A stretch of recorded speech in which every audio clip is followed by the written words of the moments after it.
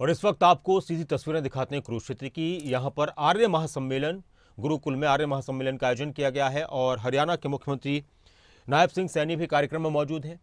राज्यपाल देवव्रत, आचार्य देवव्रत जो गुजरात के राज्यपाल हैं, वो इस वक्त कार्यक्रम को संबोधित कर रहे हैं। आर्यो, एक योगी व्यक्ति है। एक महान देशभक्त व्यक्ति है, जिसका जीवन पल पल, कण कण केवल राष्ट्र के लिए समर्पित है। और वो बार बार एक बात कहते हैं, मैं राज करने के लिए नहीं आया। ये शब्द है, मैं राज करने के लिए नहीं हूँ। मैं तो ये एक प्लेटफॉर्म मिला है। इसमें इस भारत की खोई हुई संस्कृति को बचाना चाहता हूँ। युवा पीढ़ी का निर्माण करना चाहता हूँ।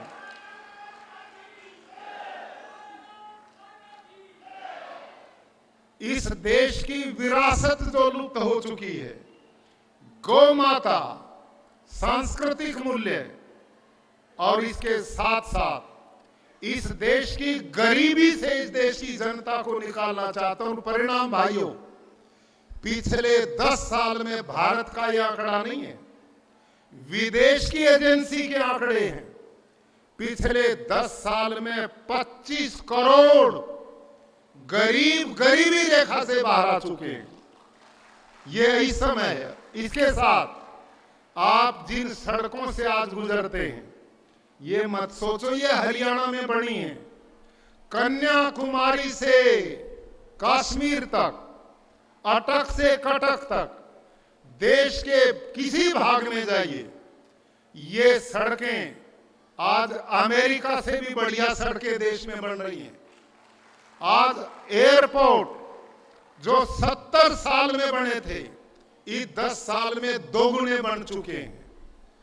प्यारे भाइयों, इंफ्रास्ट्रक्चर का क्षेत्र हो, औद्योगिक क्रांति हो, और प्रधानमंत्री जी ने काम जो मेरे को दिया, जो प्राकृतिक खेती गोपालन, उन्होंने कहा आचार्य जी आज देश की जनता और भावी पीढ़ी को बचाना है।